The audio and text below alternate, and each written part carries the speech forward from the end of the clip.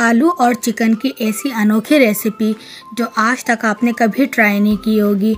आप यकीन करें, ये बहुत ही मज़े की लाजवाब बनती है। अस्सलाम वालेकुम व्यूवर्स उम्मीद करती हूँ आप सब खैरियत से होंगे। आज हम बनाएँगे चिकन आलू का सालन, जो बहुत ही मज़ेदार बनता है। तो आए चलें, शुरू करते हैं।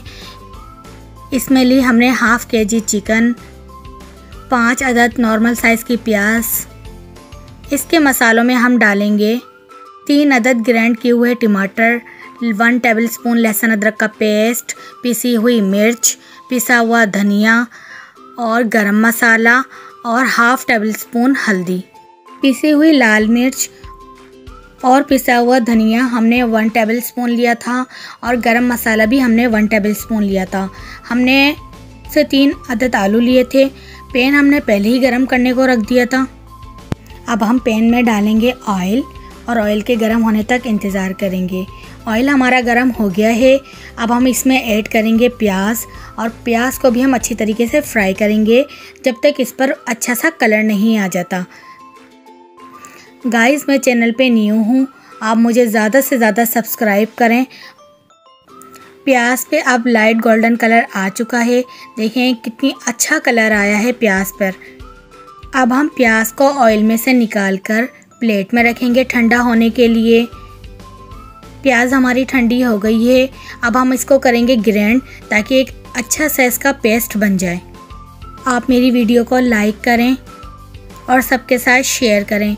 पेस्ट हमारा बन गया है।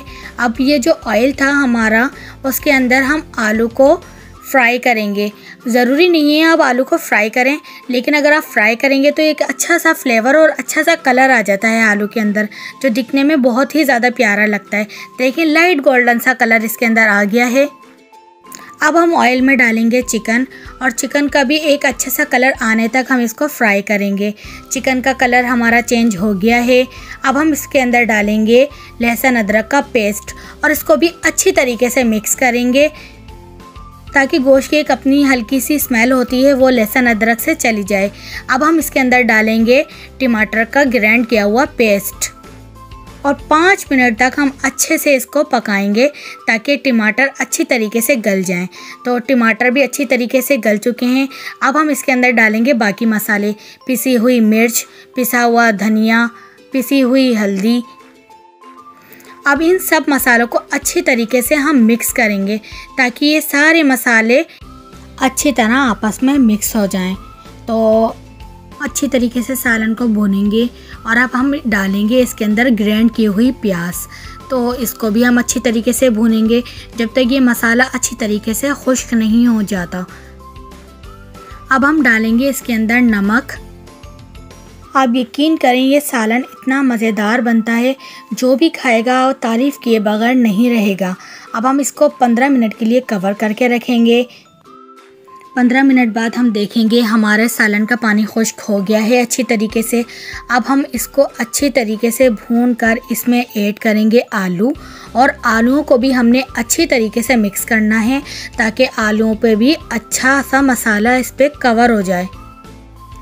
अब हम इसके अंदर पानी ऐड करेंगे। पानी आपने अपनी मर्ज़ी के मुताबिक लेना है।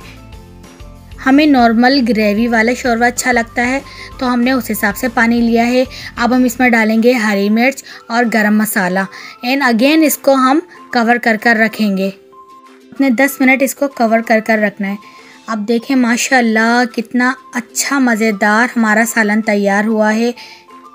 आपने वीडियो को स्किप नहीं करना है। अगर आप वीडियो को स्किप करेंगे तो कोई ना कोई पार्ट आपसे छूट जाएगा, जिसकी वजह से आपका सालन में वो मज़ा नहीं आ सकता, जो मज़ा इस वक्त हमें दिखाई दे रहा है। ये बहुत ही ज़्यादा आसान रेसिपी है और बहुत ही ज़्यादा जल्द बनने वाली रेसिपी है। अगर आपके घर में कोई मेहमान आ जाते हैं तो आप झटपट इसको तैयार कर सकते हैं। अब हम इसको सर्व करेंगे और आप देखें ये कितना अच्छा लुक दे रही है दिखने में। आप लोग मुझे ज़्यादा से ज़्यादा सब्सक्राइब करें, अपने फ्रेंड्स एंड फैमिली में शेयर करें वीडियोस को और मुझे कमेंट सेक्शन में बताएँ मेरी रेसिपी कैसी लगी आप लोगों को। बेल आइकन को प्रेस करना ना भूलिएगा ताकि मेरी नई नई वीडियोस आप तक पहुँचें। जब तक के लिए अल्लाह हाफिज़।